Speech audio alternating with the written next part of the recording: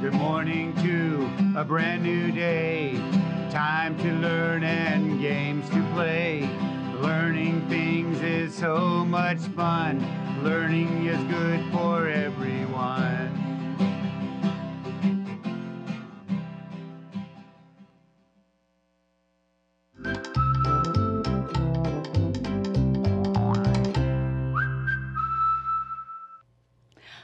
Good morning, third grade. Happy Friday. Are you so excited that it's Friday?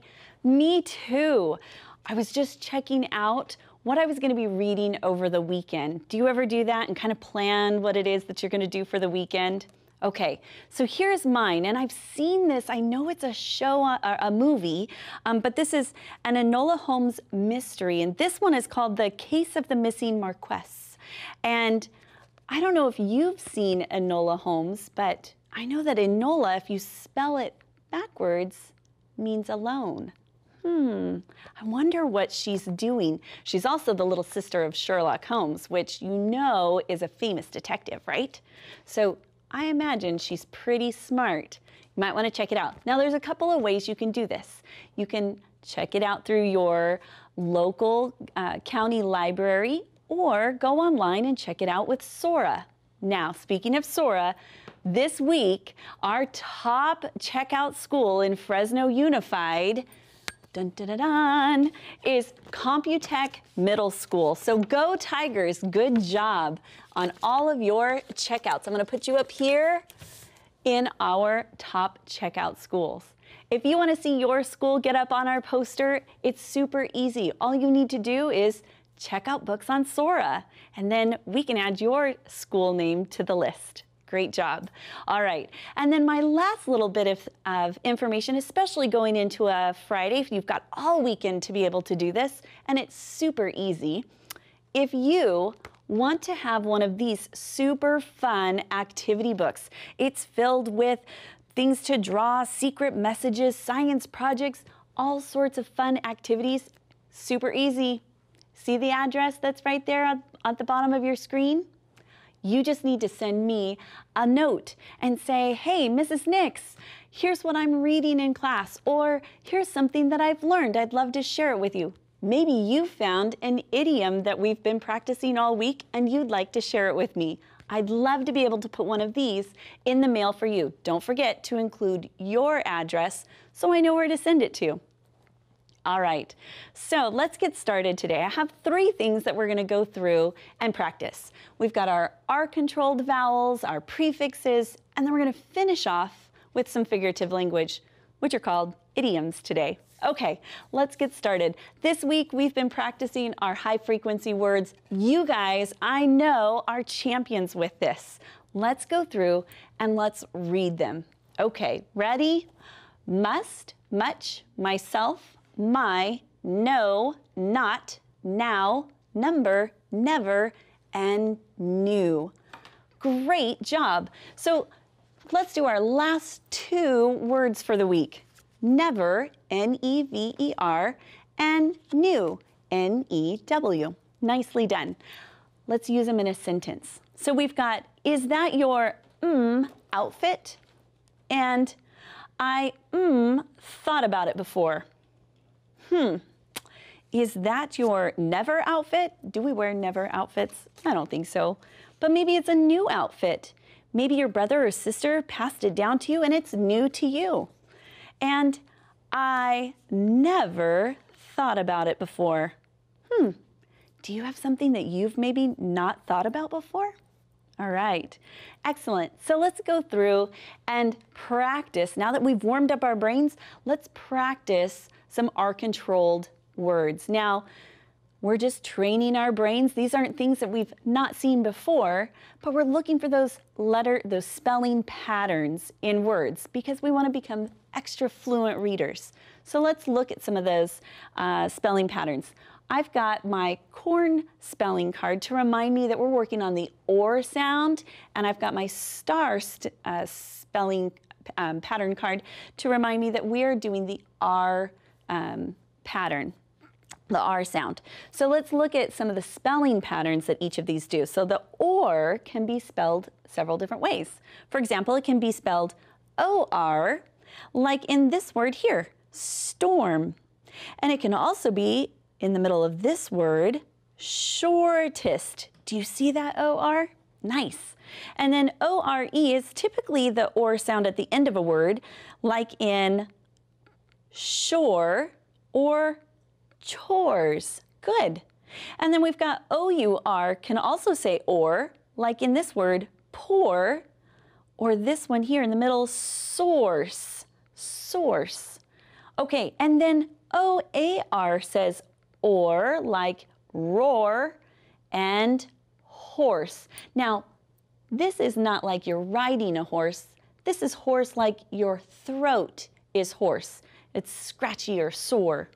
All right, and then R, like the star card, R, like in this word is spelled A-R like in start, and at the beginning of this word, argue.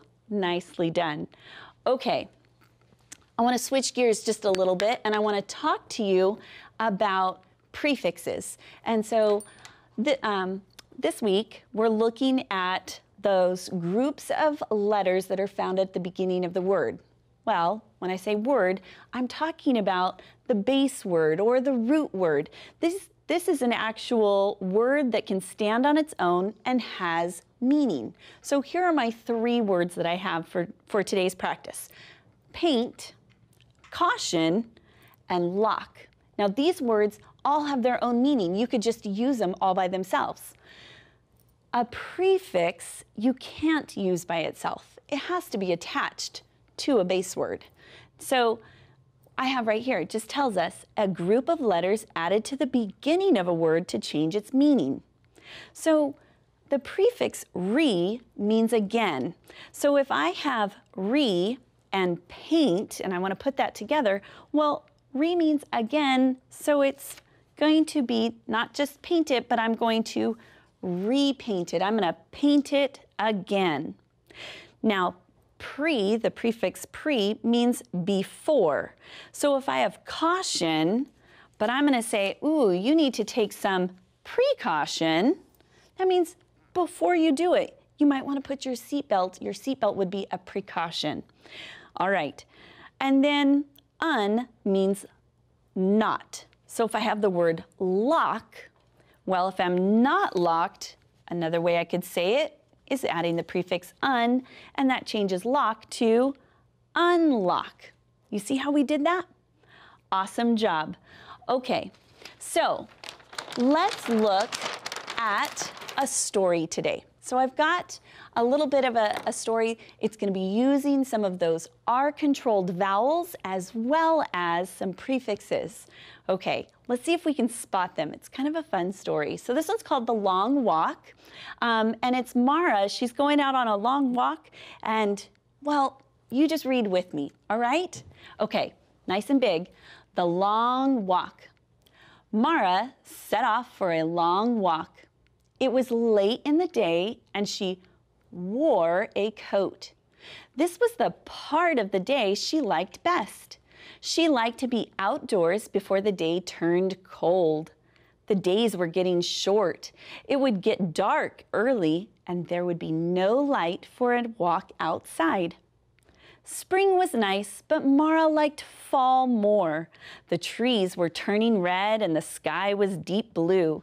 She looked up and spotted four black dots. They were birds soaring in the sky. Mara knew that she would soon see the harvest moon. She took one last look and headed home. All right, so boys and girls, did we see any of those R-controlled vowels that we've been practicing this week? Did you see them? I saw several of them. Did you see the word wore a coat? Yeah, even, even our main character, Mara, she's got an R-controlled vowel. And how about short, even right here? Awesome, great job. All right, so I know that there's more, but I'm gonna let you find them. I did put a little writing prompt. I always love to write to a story, so here's just something to think about. Write about your favorite time of the year. Could you write a story and maybe send it to me? I'd love to hear it. Okay, let's finish off with some idioms. I'm going to do it a little bit backwards today because I want to talk about what an idiom is first, right here, and that an idiom is simply a common expression that people use in conversation, and that the overall meaning of an idiom is completely different than what the words mean. Okay, let's look and see if we can use some context clues to figure out some of these.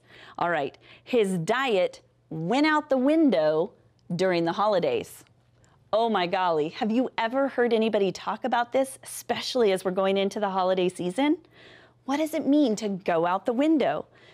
Did it need some fresh air? Maybe it didn't change? No. How about this one? Did it disappear? What do you think? If his diet went out the window, that's right, it disappeared. He stopped following his diet and he started eating all those yummy treats and snacks for the holidays. All right, one more. So, your mom and dad were frustrated by the way you acted. You must have driven them up the wall.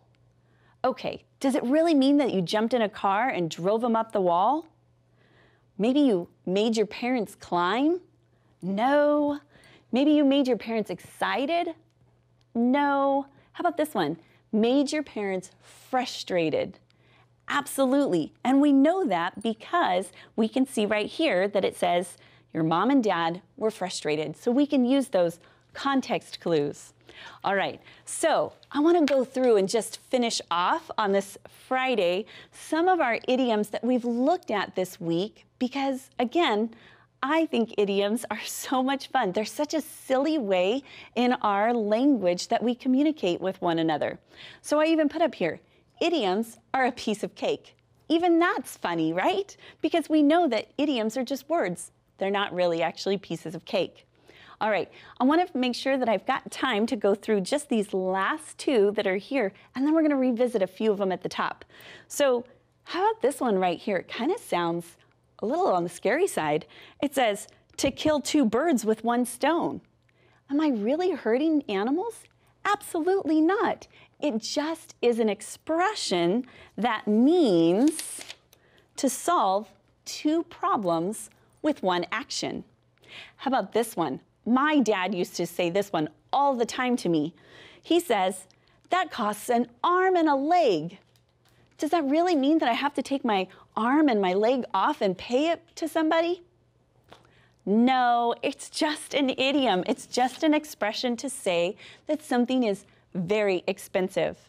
So, hit the hay, tie the knot, bent out of shape, all of these things are idioms that we've practiced all week long, and I'd love for you to practice some of those with your family members been fantastic hanging out all week with you, practicing our R controlled vowels, our prefixes, and finally our idioms.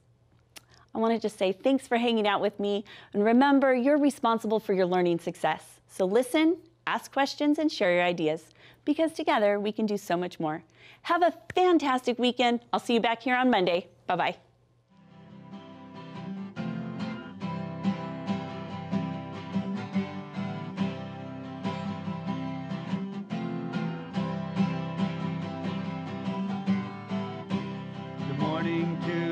A brand new day.